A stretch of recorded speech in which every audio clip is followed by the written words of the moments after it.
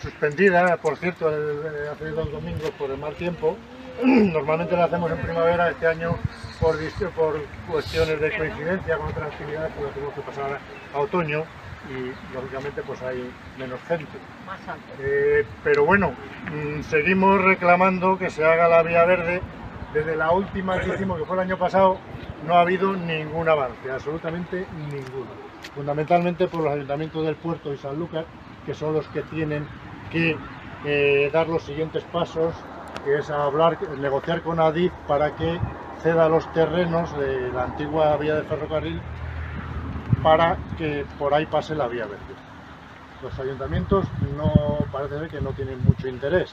Sí tiene algo más Diputación, pero tampoco demasiado. Diputación, como ya os he comentado en otras ocasiones, creó un grupo motor para la construcción de la vía verde completa desde el puerto de Santa María hasta Sanlúcar, ya que hay dos trozos ahora mismo construidos, hace ya la frontera de 10 años. Han pasado tres delegados provinciales de medio ambiente por la Diputación. Si sumáis cuatro años de legislatura, pues las cuentas Nada. sale. Y, y sí, con- empezó con mucha fuerza hace unos 10 años, pero se ha ido dilucidando, retrasando, haciendo marcha, esta es la décima marcha, y los ayuntamientos fundamentalmente pues no, no hay manera de que lo pongan en marcha. A pesar de que hay un proyecto de factibilidad ya hecho, que lo hizo la Fundación de Ferrocarriles Españoles, lo pagó Diputación hace ya unos seis años, que hay un compromiso de Diputación de sufragar el proyecto constructivo, ¿Cuánto vale? que eh, vale a unos, eh, si no recuerdo mal, unos 60.000 60.000 euros más o menos el proyecto y, y hay compromiso de pagarlo. No lo han licitado ni lo han, ni lo han convocado tampoco. Eh, con la pandemia hubo un parón, no se convocaron las reuniones del Consejo Motor. El Consejo Motor está formado por la propia Diputación, asociaciones ecologistas como Ecologistas en Acción y, y el Grupo CAN de, de Chipiona. Y hemos tenido reuniones, pero los ayuntamientos fundamentalmente ya os digo que son los que no, los que no tiran para adelante, a pesar de lo único que tienen que hacer es trabajar, porque no les cuesta un duro, porque parte lo paga la Diputación y el resto, que es construirlo, lo haría el Ministerio de Medio Ambiente, ahora se llama de Sostenibilidad, que no, ahora es de Agricultura, que lleva el tema de, de- de los caminos naturales. Se paga con fondos de un programa que se llama Caminos Naturales, es decir, que no les costaría nada. Y el proyecto de factibilidad dice que es perfectamente factible y saldría desde la estación de tren del puerto a, unirse eh, aquí en, en Rota con la vía verde a la, altura del cementerio más o menos. Se iría con, con Rota y continuaría hasta la salida entre Sanlúcar y Rota que está hecho ya y en la Jara creo que se llama pues de Jara hasta también Sanlúcar un tramo ya más chico también sería. Incluye el puente del Salao, que no se acaba de hacer. Claro, lógicamente. Eso. El puente del Salao que no está hecho, por ahí iría, porque ya al no pasar el tren, no poder pasar por la base de Rota como pasaba antiguamente, pues ha tenido que, hay que, hacer una circunvalación por una vía pecuaria. Pero bueno, está previsto y la Junta, la Junta Andalucía lo cedería para que pasara la vía verde. Por donde hemos venido los, de, los del puerto, por los toboganes, por ahí vendría, que eso es una vía pecuaria suficientemente ancha para que vaya la carretera, una vía de servicio y la propia vía verde. Seguiremos insistiendo, sacaremos una nota de prensa para que la Diputación convoque de nuevo el, grupo motor y a ver si avanzamos algo. Hombre, yo sugiero que vaya gente de Sanlúcar a hablar con el ayuntamiento y gente del puerto a hablar con el ayuntamiento. Solo para este tema. Sí, Lola, se ha, se ha aprobado en pleno ya. Sí, pero hay que, veces. hay que recordárselo. Sí, está claro. Mira, venía, lo digo para que sepáis que lo de Rota, vamos, veníamos muchísimo, como 50, porque venía el concejal del equipo de gobierno. Entonces digo, oh, vamos a presumir que somos muchos. Y él, eh, dice, hostia, me estoy enterando, Juan. Eh, Medina venía con su niño y al llegar ahí, por lo visto, se acogió para atrás. Algo se preveía él. Y le dije allí en Rota, digo, vamos a alargar un poquito, ¿eh? Dice, no, yo voy de topo, yo me voy a enterar nada más. Total, yo se ha ido, a lo mejor se ha No, olvidado. no, se ha despedido de nosotros bien, iba con el niño, ningún problema.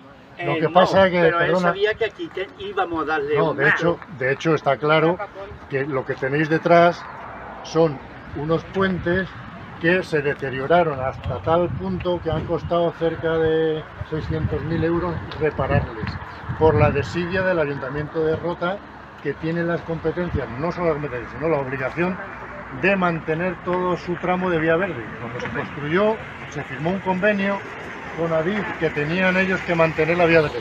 No lo han mantenido, lo han dejado estropear y han dejado caerse los puentes, que lo, ha, pag- lo hemos pagado todos, lógicamente, también con el, a través del Ministerio de Agricultura, y llevan así desde este verano, que no sé qué problema hay, que, que no les montan, están Bueno, arreglados. pues otra nota pero de no montado. no se cumple lo que se firma, es un ayuntamiento Ya, ya. que no... Por otra no- parte, se reunieron también cumple, hace ¿eh? poco los, los ayuntamientos de la costa noroeste, Sí. Trebujena, Chipiona, Sanlúcar y Rota. Sí. Hace tiempo habían hablado también de, promocionar la vía verde, pero ya la última reunión que tuvieron, pues no, no la vía verde ni la mencionan para nada. También era importante que, que hicieran alusión a la vía verde, a ver si se daba un poquito más de... Y como en años anteriores, los clubes ciclistas, eh, se llamen como se llamen, no vienen, porque esto es para Yo vengo gente... en representación del Club Ciclista Capitán Pedales Ole, y bueno, y tengo que decir, Beni lo sabe, que el club mío iba a venir hace dos semanas, Sí, lo saben. pero circunstancialmente, bueno, tenían planificado una quedada que están en, en Fuengirola, eh, sí, en. Eh, están quedándose en un hotel, entonces tenían pagado el hotel con las familias, entonces eh, yo he venido en representación, viene alguno más conmigo en representación del club, pero claro, pero una Vamos, de protesta hecho, vengo con la equipación nuestra, del club ciclista. Que una protesta en el ayuntamiento a alguien y el choquillo una vez y los medios, los medios lo que pasa es que nadie va a protestarle. Que está a claro... esta- a, a esta ruta ha venido poca gente por varias circunstancias. Sí, sí, la ya, que ya. dice es la suspensión, el incierto del día. Hoy está buenísimo, pero ayer estuvo horrible. Ah, ya, ya. Y- El tema de también de Palestina, las eh, concentraciones que se está haciendo.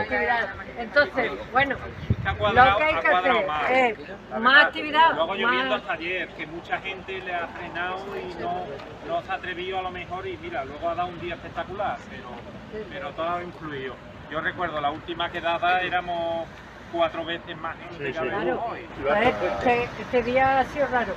Pero yo sí creo que a los políticos dicen, vamos a hacer, luego lo dejan de los recuerdos. Si, si no le presiona a la gente, hay que estar, hay que pedir una entrevista con el consejero de turno, hay que decirle, oiga usted, eh, tiene un compromiso firmado, cúmplalo. Que vamos a sacar una nota de prensa poniendo el Llevamos mucho tiempo, Lola, y no Pero- vamos a cejar en, en el empeño. Sí, lo sé. Pero, pero es verdad que sin la presión social Claro. no hacen claro, ni puñetero Ni caso. puñetero caso. No y se le olvida de un año para otro. Y la oposición de los ayuntamientos, que se la boca. Porque No, eso digo. es. A eso es lo que me refiero. A los concejales. Además que son ciegos porque es un recurso turístico para todos los ayuntamientos de primer orden. Ahora la gente que viene al turismo no solo le gusta la playa, le gusta, gusta la bici. coger la bicicleta y aquí se puede ir perfectamente desde el puerto a Sanlúcar en una ruta con niños incluso sin ningún peligro de coches, pero no lo ven, no lo ven. Andando en, No, no, es que en son bicicleta. de la del coche y punto. Correcto. ¿Cuánto no vende un pueblo que o Claro, que es que esto también mentalidad de, de los mismos comercios, de implicarse un poquito porque les interesa un turismo Sí, sí, sí, Que, que no deja de ser un turismo saludable. Correcto. tenemos la vía verde de la sierra que es un modelo de vía Bueno, verde. funciona maravilloso. Porque hicieron un buen lanzamiento, una buena publicidad, Porque tienen, tienen una fundación que lo mantiene. Como lo dejes en manos del ayuntamiento, allí los ayuntamientos no lo mantienen, No, no. pagan. Pero hay una fundación de las vías verdes. de las vías verdes que es la que lo mantiene y tiene personas contratadas y funciona Igual perfectamente. que la vía verde del aceite en Jaén y Córdoba. Javier, tú ves que si hiciera una fundación para esto, Sería lo suyo. Cerré lo suyo. Se- Sería lo suyo. Y era una propuesta que hizo la Diputación. ¿eh? Bueno, pues ya eso es todo. Si alguno quiere decir algo más, ya la vuelta cada uno por su cuenta a la localidad de origen. Habrá gente que se quiera quedar aquí a comer, a tomar unas cervezas. o gente que se quiera ir en grupitos, sobre todo los del puerto. ¿Vale? Repito, muchas gracias a todos. Gracias. Gracias. Y nos seguiremos viendo porque esto, parece que va para largo. La primavera que viene haremos otra más.